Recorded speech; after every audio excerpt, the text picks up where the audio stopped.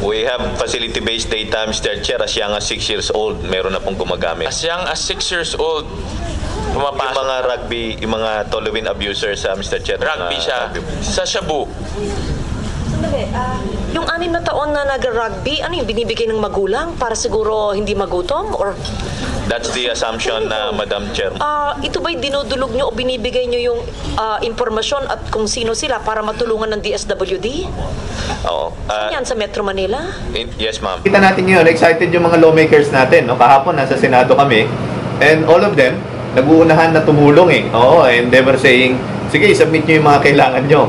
Well, first time nangyari yan. Kasi before, hindi pinapansin yung ah, drug issue. No? Nabanggit ko nga kanina na ah, every year, nagsasubmit kami ng proposed amendment sa 9165.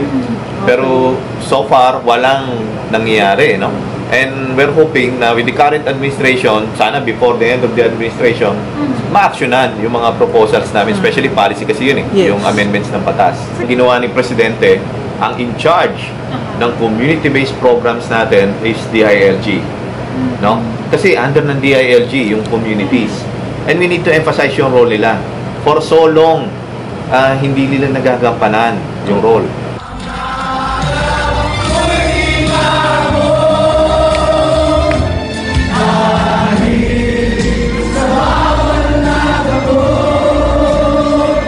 I don't know kung if you're familiar with the uh, drug uh, Davao City uh, Drug Treatment and Rehab Center. If you're familiar with the- with that facility, mas mataas yung budget ng pagkain ng mga pasyente doon sa facility na yon compared sa budget ng mga treatment and rehab centers operated by the DOH. Kasi I should know. I came from the Department of Health. Mas maliit yung budget namin for food. Nainggit nga kami. Kasi yung Davao Center, talagang binuhos ni Mayor, no? Ah, kailangan nyo ng sustansya sa katawan kasi nga, dahil nag-addict ka, ang daming nawalang nutrients. Sige, ah, pagkain, no? Mas ma- mas malaki yung budget nila for food. So hindi yung nakikita natin na puro kapulisan lang eh ang approach, no? Ah, binibigyan natin ng tsansa. We can see no na, na may pag-asang gumaling ito and that's the reason why nag invest ang government sa mga rehabilitation center and na-demonstrate yan ng Davao.